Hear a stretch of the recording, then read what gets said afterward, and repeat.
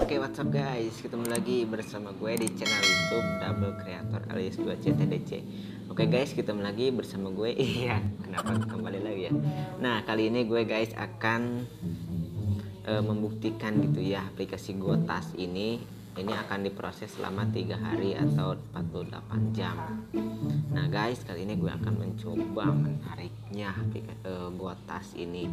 Sebelumnya ya aplikasi Gotas ini tidak ada tidak ada yang namanya Bank Indonesia ya cuma ada MyBank atau uh, Malayan Banking Berhan gitu ya yang asalnya BII gitu ya. Sekarang saya akan mencobanya menarik menarik aplikasi dari Gotas ini. Nah di sini ada penarikan dan di sini sudah terlihat jelas ya bahwa penarikan itu dari jam 10 sampai jam 6 waktu setempat Malaysia. Waktu setempat Malaysia bukan setempat Indonesia gitu ya. Nah kalau Indonesia kan sekarang baru jam 9 gitu ya. Sekarang saya akan mencoba kalau belum bisa nanti gue nunggu jam 10 aja disamain dengan Indonesia gitu ya. Sekarang saya akan mencoba menarik MRM nya itu 8 8 ringgit setara setara dengan 26.000 ya. Kata sandi pembayaran kita isi aja. Kita setelah itu apa lagi ya? E, langsung aja kita hantar aplikasi tertarik menghantar dengan berjaya. Ya guys. Dihantar dengan berjaya. Diantar dengan berjaya guys kayaknya ini lucu banget ya. Kalian bisa lihat di sini ya. Gotas. Gotas kayak kayaknya ini lucu banget gitu ya gotas. Gue menarik 8 ringgit gitu ya. Kayaknya kalau masuk ke dana kalau gotas ini seandainya masuk ke dana ini lucu banget. Nggak lucu sih maksudnya eh, eh, berarti eh, apa namanya? Berarti eh, prediksi gue itu benar bahwa aplikasi buat eh bukan gotas astagfirullahaladzim. Eh, aplikasi isi ad gitu ya. Aplikasi isi ads ini bisa bisa eh, digunakan di Indonesia gitu ya. Kalian sebagai bukti aja di sini kita lihat dulu saldo dana saya gitu ya.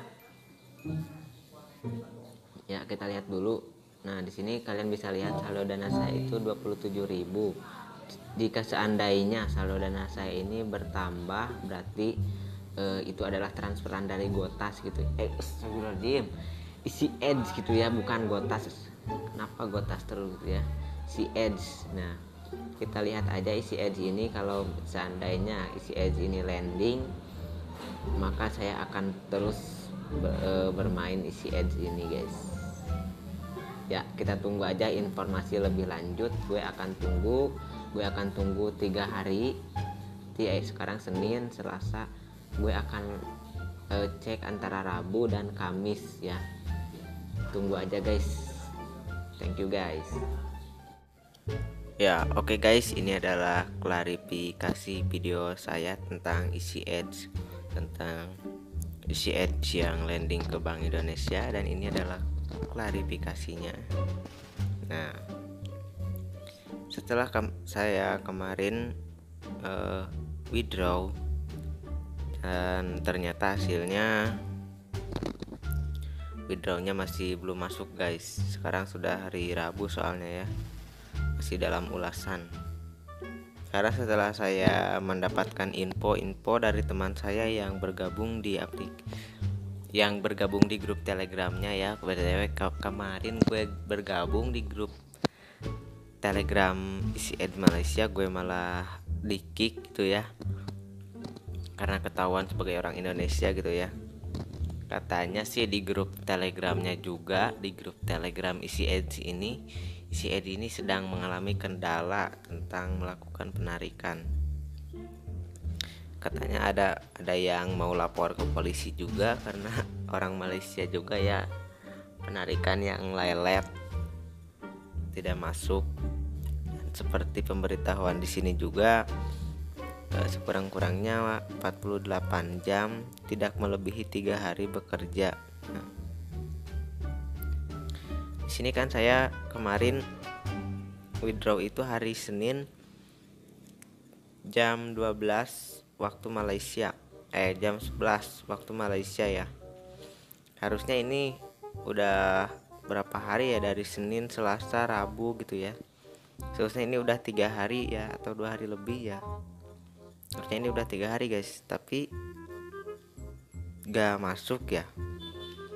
Tidak masuk guys. Dan di aplikasi dana juga tidak ada uh, uang masuk ya mungkin log logikanya gini guys. Mungkin dari ringgit Malaysia itu kan ringgit. Kalau mau ke Indonesia itu kan IDR gitu ya. Mungkin tidak ada konversi dalam penarikan guys. Mungkin tidak tidak mungkin gitu ya Bank Malaysia mengirim ke Bank Indonesia akan berubah jadi ri, akan berubah menjadi rupiah gitu. Mungkin tidak ada konversi dari antara bank. Kecuali kecuali kita mempunyai bank Malaysia mungkin. Bentar ya. Kecuali kita mempunyai bank Indonesia gitu ya. Dikonversikan dulu ke rupiah gitu. Nah dari rupiah ini kan bisa dikirim lagi ke rupiah mungkin seperti itu guys. Mungkin tidak ada konversi dari ringgit ke uh, rupiah gitu ya.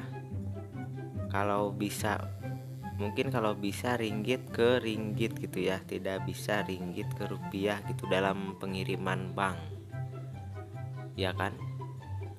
Btw kan kita juga tahu gitu ya kalau misalkan kalau misalkan ada orang gitu ya kerja ke Arab. Ada orang kerja ke Arab. Nah dari uang Arab ini kan tidak tidak bisa langsung dikirim ke IDR harus dikonversikan dulu lalu dikirim ke IDR gitu guys. Paham kan? Dari uang Arab gitu ya misalkan uang Arab itu apa sih? Real gitu ya real. Mau di langsung mau real ini langsung dikirimkan ke Bank Indonesia. Mungkin dari real ini harus di harus dikonversi dulu ke in, ke IDR lalu dikirimkan ke Bank Indonesia gitu guys. Jadi intinya gitu guys. E, tidak bisa alasan mungkin ini tidak masuk-masuk adalah alasannya mungkin tidak bisa dikonversi ke Bank Indonesia.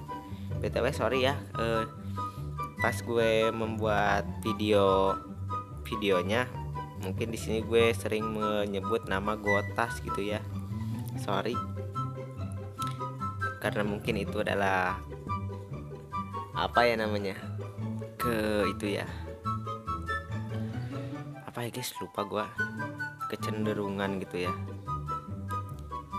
nah itu aja sih guys. Informasi dari gue jangan lupa di like comment dan subscribe